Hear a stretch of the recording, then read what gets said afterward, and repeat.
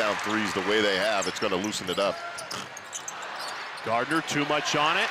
Another offensive rebound for Virginia. Great pass, and Shedrick hammers it home. Kihei Clark on the offensive glass, and then with the dime, Virginia back up double digits.